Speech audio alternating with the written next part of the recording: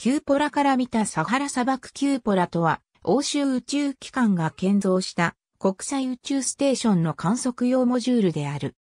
ESA はキューポラを建造する代わりに、 ESA の暴露ペイロード5台を NASA に依頼して、ISS まで運んでもらう権利を有する。キューポラが取り付けられることで、宇宙飛行士がロボット操作やドッキングした宇宙船を直接見ることが可能になり、壮観な地球観測所にもなる。外から見たキューポラ。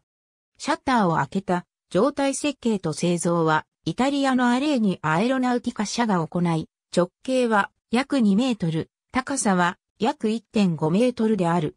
横窓が6枚と天窓があり、それぞれの窓には流星時にやスペースデブルによる損傷を防ぐための開閉式のシャッターが取り付けられている。キューポラには熱制御システム、音声端末装置、電力供給端末、ビデオインターフェース、 MIL-STD-1553 バスインターフェースを持つ。また、カナダアーム2を制御する2台のロボットアーム操作盤のうちの1台がデスティニーから移設される。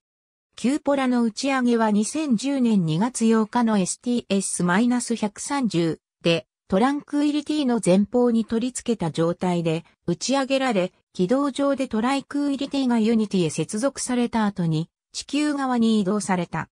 窓ガラスは3層構造になっており、損傷した場合は軌道上での交換も可能な設計である。